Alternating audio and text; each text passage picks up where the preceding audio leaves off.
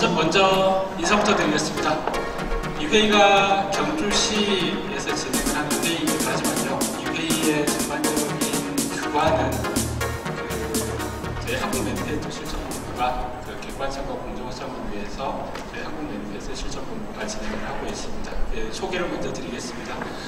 한국 매니페스토 실천본부에서 정책자문위원으로 일하고 있고요. 유일하게라고 합니다. 반갑습니다.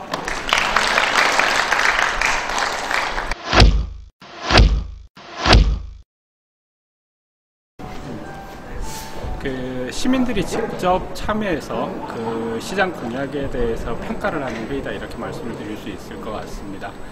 그 원래 공약의 주인은 주권자인 시민이라고 할 수 있는데요. 그럼에도 불구하고 공약이 그 단체장이 당선된 이후에 그 공약의 이행 과정에 대해서 시민들이 참여할 수 있는 공간이 그동안은 그렇게 많지는 않아 왔습니다.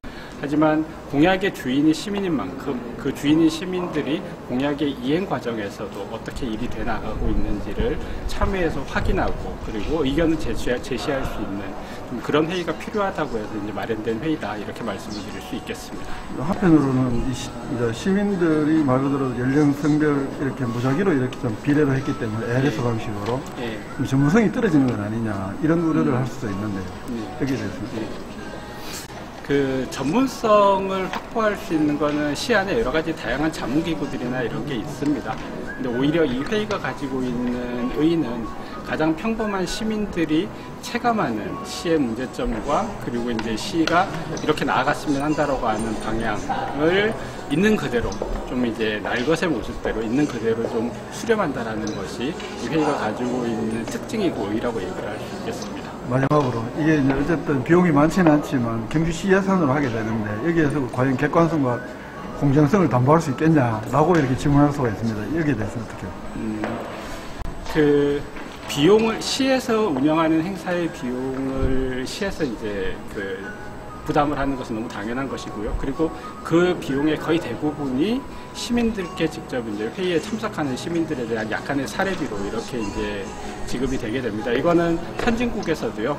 시민들이 생업에 바쁜 시민들이 시간을 내서 이 공공의 영역에서 이제 일을 하시는 데 대해서는 그거는 당연히 이 거기에 대해서 이제 그 실비를 사례를 해드리도록 돼 있는 거는 너무 당연한 시민의 권리다 이렇게 말씀을 드릴 수 있을 것 같고요. 이 회의의 운영은 한국 매, 그 경주시와 경주시의 독립적으로 한국 매니페스토 실천본부가 운영을 하고 있기 때문에 그런 공정성이나 객관성에는 걱정을 할 필요가 없다 이렇게 말씀을 수 마지막으로 있겠습니다. 간단.